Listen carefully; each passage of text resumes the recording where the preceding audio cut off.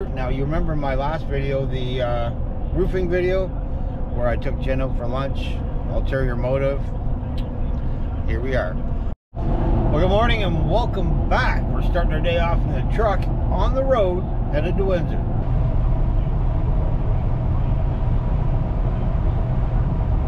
Uh, she has taken up crafting, uh, which is going to require me to make some items out of wood. So my miter saw decided that it did not want to work anymore. So we're about to go to Home Depot here to see what they got for a new one. And all it costed me was lunch. Now we have arrived. I'm going to leave you all in the truck. And I'll be back in a minute. We are done at Home Depot. We ended up with a seven and a half inch miter saw. That's it there. Slider and an orbital saw. Orbital saw? No, that's an orbital sander, not a saw. Uh, I believe they were 189. Why did you get a seven and a quarter and not a 10 inch? Well, I'm not building houses. I'm only doing small projects. So I felt no need to get a 10 inch. Besides, they didn't have one. Probably would have bought the seven and a quarter anyways. Seven and a half, seven and a quarter. I don't. I probably would have bought this one anyways, only because I'm doing small projects. Again, not building houses. Use the same analogy when I bought my welder. It's a small welder, real small. Because I said I'm not building bridges. I'm only doing small projects. Got to buy what I need. You got to remember, we got a small shop. So we only got a limited amount of space, so I can only put so much in there. That's going to do it for Windsor. We are going to head home, and I think we are going to try this thing out. We have made it back home. So first up, we've got the, uh, we picked up a 5-inch orbital sander. They're much, much better than just the static square sanders. I got one of them. It doesn't do a bad job, but the orbital sander is much better. Now, we're going to get to the good one.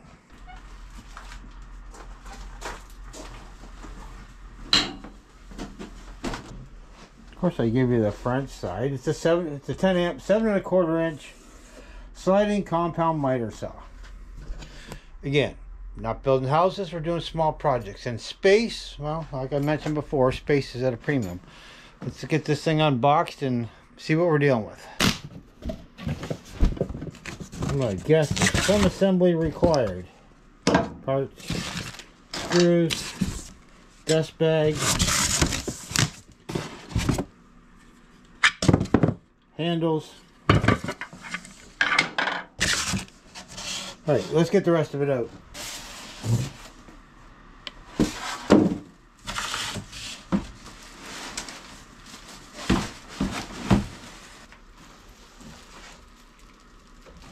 We are. I think that's going to be the perfect size. Well, I think we are set up. We got it plugged in. The slider's pretty smooth. Now, you can also bolt this down, which I'm not going to do, obviously. But it sits nicely on top of my table saw. The other one I had that I got from Pop was really big. Big 10 inch.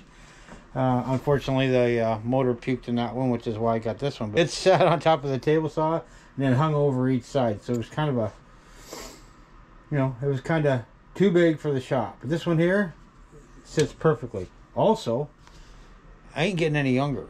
And when I went to go carry that big one around, it was heavy. This one here, it's nice and light. It probably doesn't weigh, I'm going to guess 12 or 13 pounds. The setup was real easy. We turn it on right here. It turns on a light. A couple safety mechanisms here. If we look, we got this tab right here. It has to be pushed over. Then you pull the trigger. So you push it over.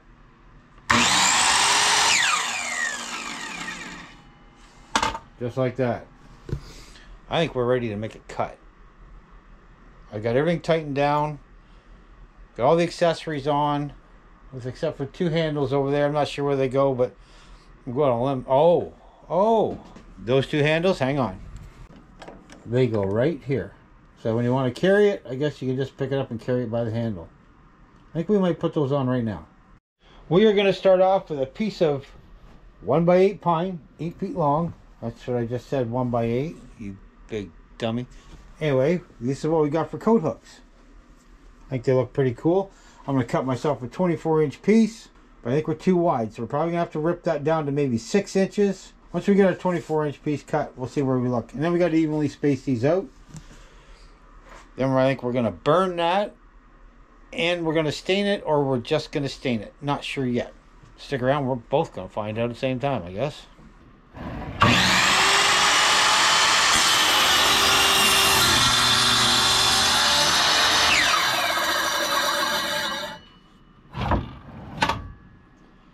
That cut's nice.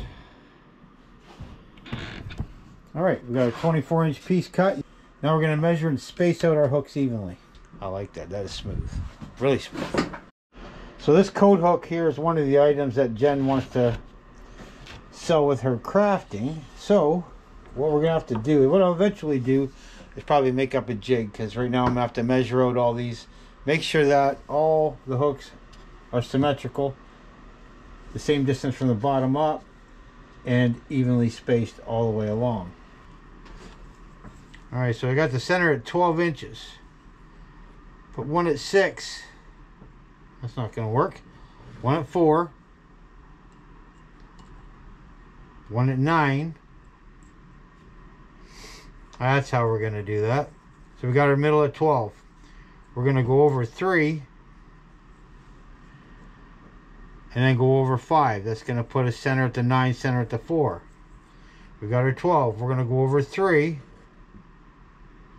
that's going to put us at 15. And we're going to go over 4. No, we're going to go over 5. And that's going to put us at 20.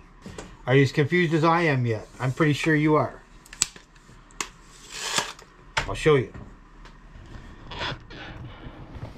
So we got 12. That's our center point because it's a 24 inch board. That's over 3. That's over 5. From our 12, that's over 3, that's over 5. Equal distance on each end. Equal distance in between. It's the exception of the middle. I think that's a little wider, but I think I like it that way. All right, now I'm going to show you. I, you buy a 1 by 8 folks, it's really not 1, and it's really not by 8, but it kind of is what it is.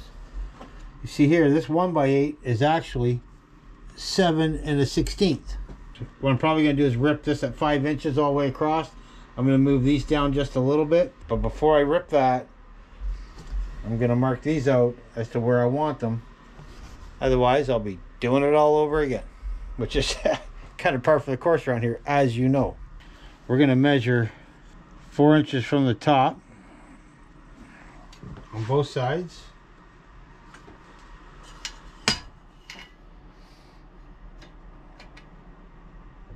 And we're going to run us a straight line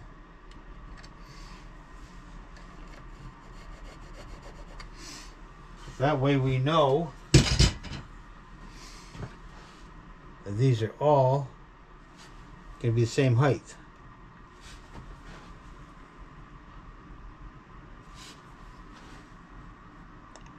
So these are all evenly spaced from the edge to here, from the edge to here.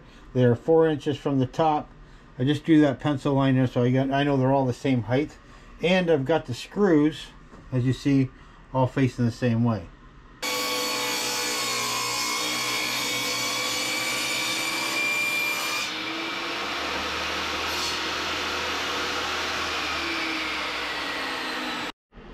So I ended up cutting this at five and a half inches. So by the time I put that on there, leave a little bit of space right here. Now the piece left over is an inch and a half. I'm going to end up gluing that to the top here. So it gives a little bit of an edge. Is it going to look okay? I guess we're going to find out together. This is one of my least favorite things to do. But it's got to be done.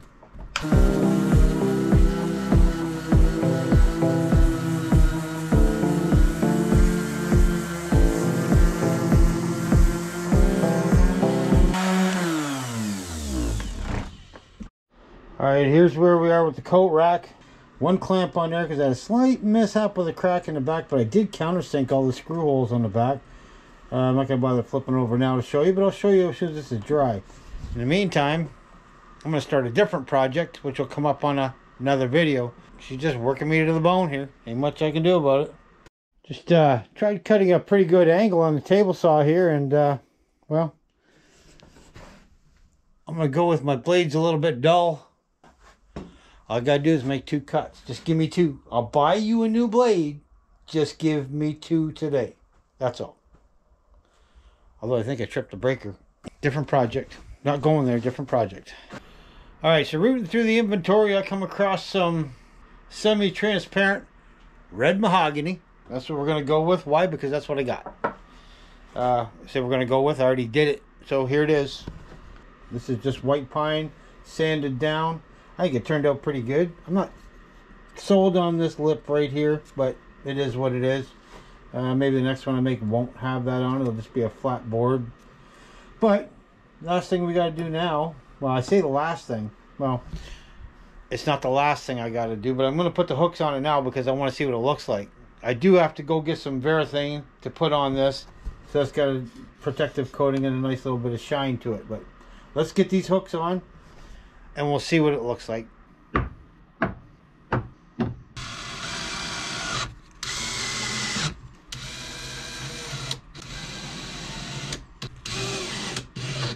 I don't think it looks too bad. Maybe not even put the urethane on it.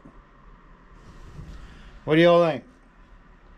See, in order to justify that new saw, I got to do things like this. This isn't exactly outdoor related, unless you're going to put that up on the outside of your shop, but it is what it is. If it makes you happy and I get new tools, that's what it's all about.